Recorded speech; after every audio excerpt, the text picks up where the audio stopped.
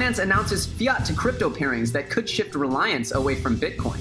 Dow Jones Media Group and Brave Blockchain team up to test consent based ads. PayPal eliminates anonymous accounts and announces a fee change for international transfers. IBM reports its first pilot transactions with international banks. Huobi, the world's fourth largest exchange, relocates to London as entry point to Europe. NASA tests its blockchain technology in space. And German ICO SaveDroid appears to exit scam for $50 million before announcing that it was just a prank. And the markets are truly bullish today. We've got all your headlines mixed with some daily market analysis. I'm Ellio Trades, and your FUD TV daily update starts now. Welcome back, FUD Nation. Diving in here on the total market caps, we can see that Bitcoin's up a little over 2%. We have a nice bullish day today. Ethereum clocking some serious gains up above 550. That's a huge recovery from Ethereum. We're looking for this to start making headway back towards its highs of over $1,000, of course. I'm not sure how soon that will be, but Ethereum really definitely held its strength over $1,000 for a while after the sort of market dip was well in effect. Bitcoin Cash really leading the herd here with a 13% gain. And Litecoin, every, everything in the top 10, most of the things in the top 100 besides Bytom and a few other coins, it's maybe three coins here in the top 100 that are clocking reds here. Uh, as we go to the biggest gainers and losers in the top 100, we can see that Monaco is really, this pump here is coming from a listing on Bithumb. It's absolutely crazy the volume that's pumped out of Monaco after its listing on Bithumb. As you can see, it's it's crazy. It's got 300 and over 350 million dollars in volume here, 373 million. Pundi X still doing really great off of that. Like we said, we didn't cover this yesterday. We meant to say this. It got edited out actually, but they are doing a buyback, which is causing a huge spike as well as they're doing a lot of rollouts.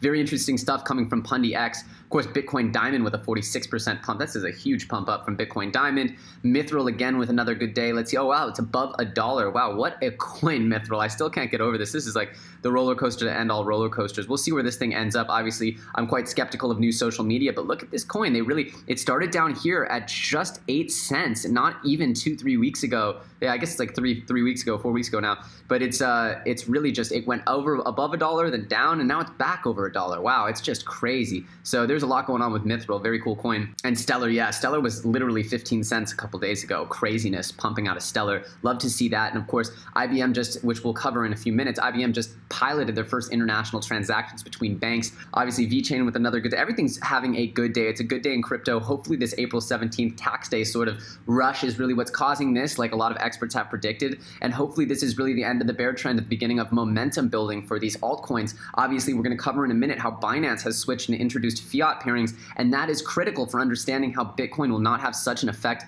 on the market. So let's let's go ahead and hop into that now. We're to go check out the Binance news right now. In our lead news out of the day, we have word that Binance is announcing their fiat to crypto pairings. This is huge because right now we all know that Bitcoin's ebbs and flows are really having too much of a toll on the market. These alts are getting ransacked when Bitcoin has a bad day and doesn't quite make sense. Why would NEO go down because Bitcoin goes down? It just doesn't make sense. Like Neo's value and Bitcoin's value are just not correlated. Oh, you know, for example, introducing fiat's crypto pairings would allow for obviously each crypto to sort of hold its own and sort of have its own chart. That's what we really want here because right now seeing Bitcoin take a hit because there's all these miners and all these whales and all these uh, exchanges and there's all these there's so much going on with Bitcoin and the futures and, and all the different sort of forces on the coin that having all these other alts affected by Bitcoin's price is not good for the market. There's been an intense discussion over the last few weeks to months about decoupling the market from Bitcoin because it really has proven that it's too dramatic and too, too negative, the effect of having everything tied to Bitcoin. This is all because of Malta, of course. Malta is the reason why any of this is possible because they have extremely forward looking policies on financial tech. CZ, the CEO of Binance, has really gone and formed a relationship here with the Malta government, and that's what's allowed for this sort of blossoming, if you will, of this relationship where USD and fiat pairings, probably euro pairings as well, will be able to be implemented. That is huge news. It will allow for a decoupling of Bitcoin from the market, and we can have faith now that countries like Malta are going to step up and fill gaps if sort of leading nations, if you will, like the United States and And European nations are, ref are refusing to do so or are unable to do so. Sweet. We love you, Malta. And the Dow Jones Media Group is going to team up with Brave Browser and the Brave blockchain to test consent based ads. Brave, which raised literally $35 million in 30 seconds. That's literally more than a million dollars a second. But that's for good reason, as it was created by Brendan Eich, the creator of JavaScript and co founder of Mozilla. And obviously, the coin that is associated with Brave is the BAT, the Basic Attention Token. Brave's whole mission here is to cut out the middleman when it comes to the ad industry. They're trying to connect the ad creators and the payers directly to the customers. One of the main ways that they're going to be doing this is through something called consent based ads. They're going to essentially give the consumers the option to opt in to seeing the ad. The senior vice president, Daniel Bernard of Barron's, which is the company that owns the Dow Jones Media Group, said that it's an exciting and innovative step for the Dow Jones Media Group. This is very exciting as it's just showing more integration between sort of cryptocurrency projects and mainstream sort of adoption projects and also mainstream finance world. We definitely want some crossover here between the mainstream sort of stock world and the investment world and the cryptocurrency world. We need to real legitimate investors to the space to really inflate our market caps, to really get us the capital in this industry that we need to propel this revolution forward. We need more money, we need more investors, we need more attention, and Brave is really pushing the limit here on creating good partnerships with great media groups. Interestingly, IBM announced a very similar project yesterday in partnership with Salon Media. Very interesting space, and we can see the advertisement space is definitely going to be the target of a lot of changes as we move into this sort of Web 4.0 revolution. And speaking of IBM, we have word that they've just done some of their first pilot transfers with massive international banks. IBM's partnership with these international banks is called Batavia. The whole partnership began with the Bank of Montreal, CaixaBank, which is a big Spanish bank, Commerzbank, Erste Group, and the United Bank of Switzerland, UBS. They all started working on this last fall, and apparently they're completing their first pilot transfers this week. Right now, there's no mention of Stellar Lumen being involved in any of these transfers, but we definitely know that IBM's intention is to use Stellar Lumen for all settling of financial sort of transactions and transfers of assets. So we'll see how this starts to play in, but we know that some of the biggest banks, international banks in the world, are hopping on, much in the way that we see Ripple doing international payments sort of solutions. We're seeing Stellar attack the very same market. Very interesting stuff, and we're definitely very bullish. It makes us even more bullish on IBM, Stellar, and this whole blockchain revolution. So PayPal has recently adjusted their fee structure that actually adds more fees if you're sending money internationally. It also got rid of all anonymous accounts and makes it so essentially you have KYC rules enforced on PayPal. So everyone gets essentially one account and one account only. That is going to have a big effect on cryptocurrency as PayPal has been a really effective way to transfer sort of e-cash around the world. And, you know, depending on where you are, maybe there's not that much of restriction on essentially identifying yourself and being clear about how many PayPal accounts you may have. So if you're someone who might be using PayPal to sort of move money around or not necessarily have money tied to yourself, like a lot of people may or may not do in crypto, well, it might drive you further into this blockchain world.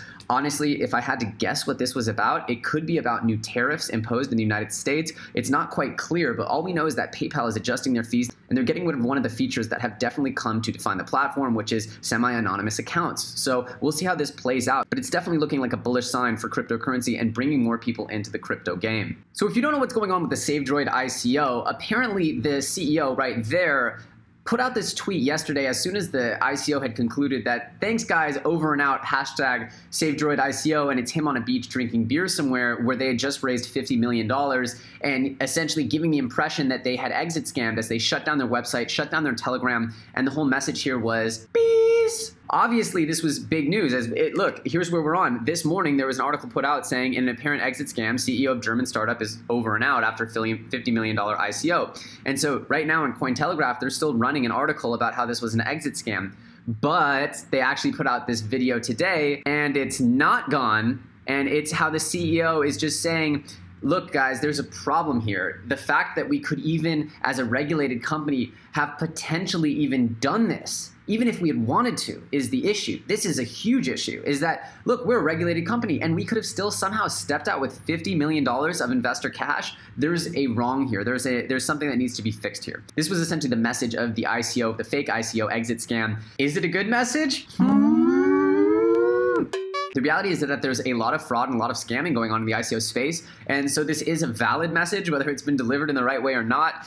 Ew, that's yet to be seen. Regardless, the Save Droid ICO is not a scam. It seems like they're going to be around for a while, and this was all just a message, a stunt, a joke. And Huobi announces that they will be moving to London as an entry point to Europe. Huobi was originally born in Beijing, but has since moved around quite a bit since the sort of regulations have come into effect in China. They're looking at not Malta, not Switzerland, absolutely London, more precisely Britain. That's actually not more precise but it's the entry point for European market for us. Soon we will have an office there. Very cool for Huobi, and it's also good for just having more competition in the exchange game. The exchanges are the most vulnerable, most centralized, uh, just a most flawed part of our sort of cryptocurrency economy. So more competition, more access. These are good things for crypto, and more regulation, of course. This comes on the heels of an announcement that Huobi actually opened an office in South Korea on March 30th. They also plan to open an office in San Francisco. And NASA enlists the help of the Ethereum blockchain to develop a technology for deep space exploration. We have detected intelligent life, Lord Vitalik.